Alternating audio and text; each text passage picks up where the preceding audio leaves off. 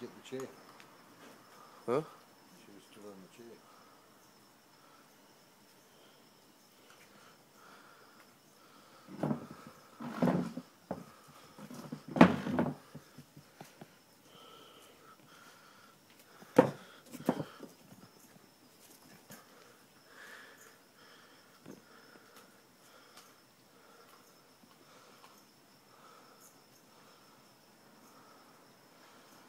Like just the size comparison.